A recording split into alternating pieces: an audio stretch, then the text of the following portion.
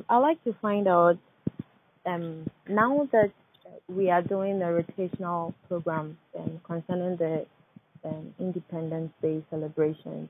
As an now we are doing what? Now that the Independence Day celebrations have been rotated, first it was Tamale and Kumasi, and okay, okay. We want to find out like what would be the what would now become of the Independence Square. So that's. Mm. Well, I, I, I, I, I, I, I think that the Independence Square was not only built purposely for for a parade. I mean, um, it's one of our major national assets, and um, it so happens that uh, all or many of the national uh, activities are being held there.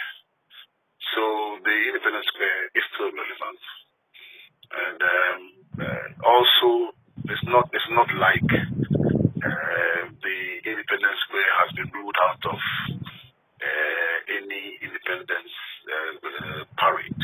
Um, they certainly would come there uh, someday um, as the uh, the behest of the, of the president.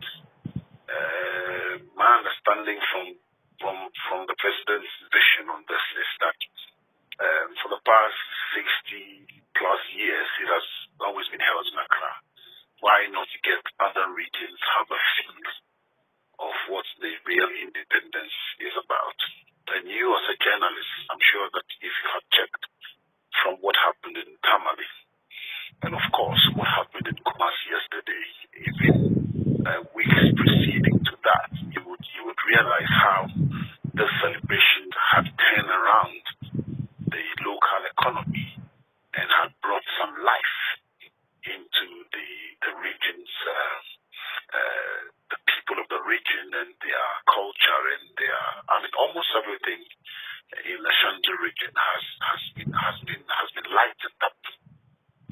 The the local economy has benefited so much out of the president's decision to bring it here. It so happens in Tamale as well last year. So I think that that must be the the thinking of the president when he said that it is time to, to rotate it. Uh, he may as well decide that next year let's have it in Accra again. Uh, but that is that is that is at his discretion. We we only work based on the directive that we are giving, and we tend to do our best to make sure that happens. Okay, right. Um, now please, um, how are the rotations being done? Um, are they selected by random, as in like from other regions, the Tamale, the Kumasi? How has it been done? But that's why I said that, that is that is at, at um, of the president. When we went to when we went to Tamale, we we we never knew that Kumasi would be the next the next place. So the president later informed us uh, and then put a team together and says, "Well, I want it to be held this year in Kumasi." As, as I speak to you now, I don't know when and uh, where the next the next um, the next region would be. Um, and as I said, he might as well say, well, uh, let's have it in Accra. So that is that is the, the preserve of him. And we we only work based on based on his, his instructions.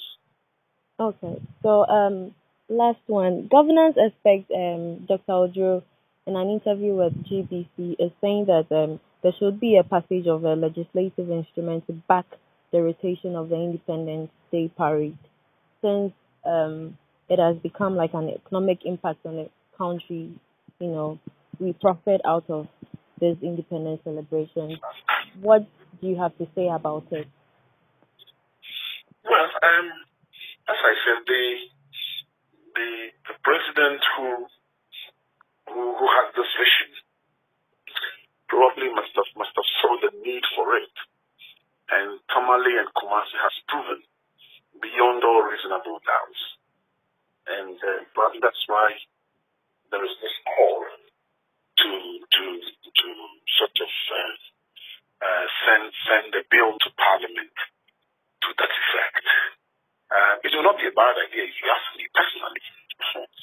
because I said it fits into the president's vision and thinking that yes, uh, it's a wonderful opportunity at getting the regions also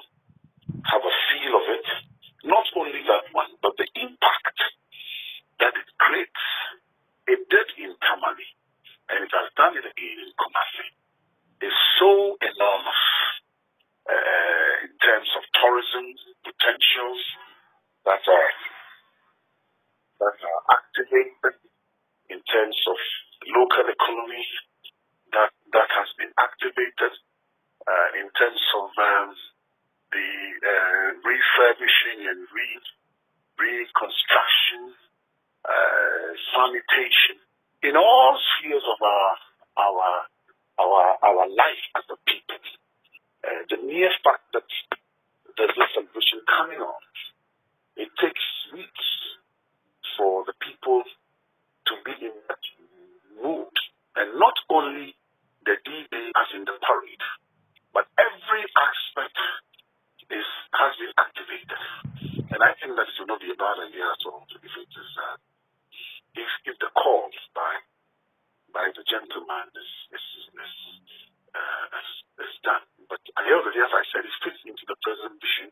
I am happy, for instance, that uh, the president's call on this thing to be rotated is something that's being accepted uh, by the people, first of all, and also getting governance experts to really add, add, add to it by asking for some legislation. It goes to work for our common good. Okay. So um, yesterday when um, there were so, there were reactions from Ghanaians about the whole Independence Day celebration. Of course, some were happy about the fact that and it's been taken to Kumasi and they were proud about the fact that it's been celebrated in their town and a whole lot. But then other people are of the view that this whole rotation is um, about what the party in power stands to gain, you know, in that you are benefiting from the whole thing as it's becoming more political than economical. Um, what do you have to say about that? Well, I would I would rather ask you if you were if you were at the uh, first of all if you are in Kumasi and if and if you're on the ground, not a single uh, party flag, especially not a single NPP flag, was flying on any pole anywhere in Kumasi.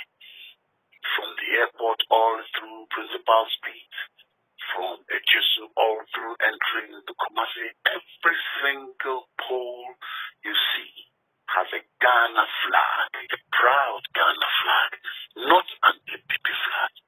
You were at the stadium, you saw the beauty of it. Every single individual, okay, over a hundred thousand miniature flags were distributed across, and every single individual in and outside the stadium has a has a Ghana flag waving. There was nothing partisan political about it. So I don't know what what people are talking about. If we wanted to politicize it by using party colors, we would have done so. The president insists and says this is one Ghana. I don't want to see any party color. And it, it, it really went well on the cameras everywhere. So um, I don't know what what other people are talking about, but you saw it for yourself, uh, and, and and therefore uh, is is something that uh, is not even necessary to comment. Uh, the most important thing is that as planning committee, uh, we did what we could and presented to Ghanaians uh, um, a unified uh, celebration that puts Ghana uh, and the flag of Ghana at, at, at the fore. And I think that all partisan interests were, were reserved to the background. Okay. Okay. Okay. Thank you very much. My pleasure. All right.